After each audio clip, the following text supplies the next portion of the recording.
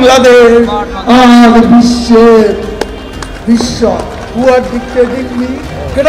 মঞ্চে অতিরিক্ত নেতার উপস্থিতির কারণে ফের বিরক্তি প্রকাশ করেছেন আওয়ামী লীগের সাধারণ সম্পাদক ওবায়দুল কাদের। তিনি বলেছেন গেট আউট তোমরা এখানে দাঁড়িয়ে আছো কেন? প্রেসিডেন্ট সেক্রেটারি ছাড়া কেউ থাকবে না এখানে।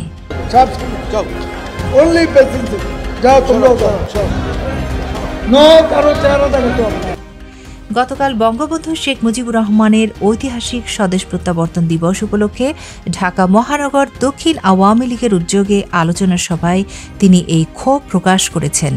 অতিরিক্ত নেতাদের মঞ্চ থেকে নামিয়ে ওবায়দুল কাদের বলেন কারও চেহারা দেখাতে হবে না নো। বডি। প্রত্যক্ষদর্শীদের ভাষ্য মতে ওবায়দুল কাদেরের বক্তব্যের শেষের দিকে তার পেছনে নেতাকর্মীরা ভিড় করেন। তখন কেউ একজন পিছন থেকে একটা শব্দ বা কিছু বলার জন্য বারবার বলছিলেন। এই যে নেতাদের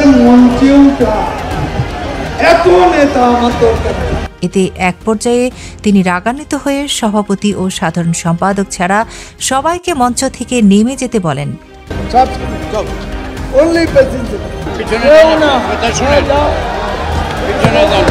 এ সময় ওবায়দুল কাদের বক্তব্য বন্ধ করে মঞ্চের কয়েকজন নেতাকে বলেন who are you dictating me Bangladesh আর বিশ্বের বিশ্ব হু আর ডিক্টেটিং মি এ সময় অনেক নেতা মঞ্চের উপরের সামনের দিকে বসতে গেলে ওবায়দুল কাদের ডায়াস থেকে গিয়ে তাদের সরিয়ে দেন।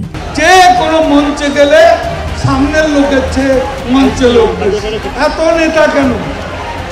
এক পর্যায়ে মঞ্চ থেকে সরে গিয়ে অনেককে নামিয়ে দিয়ে আবার বক্তব্য শুরু করেন ওবায়দুল কাদের। খেলা হবে যারা দুর্নীতিতে পাঁচ পাঁচ বিশ্ব চ্যাম্পিয়ন।